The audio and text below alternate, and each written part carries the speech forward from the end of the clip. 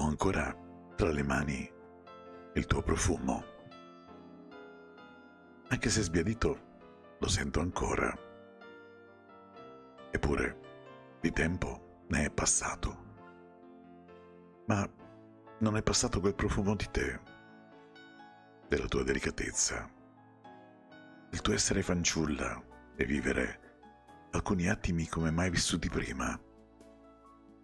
Come tornare a riscoprire con gli occhi i colori della vita, dei sentimenti, di quel qualcosa che dentro ti agita in modo piacevole e ti fa fare cose assurde solo per aver liberato una parte di te in un giorno diverso.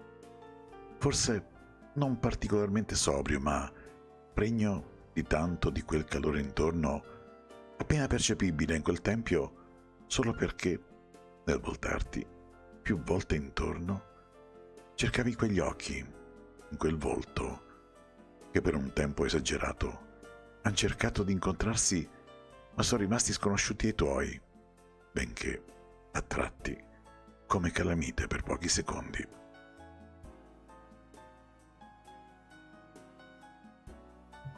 Tra le mani, questa voce di Mauro Mazza.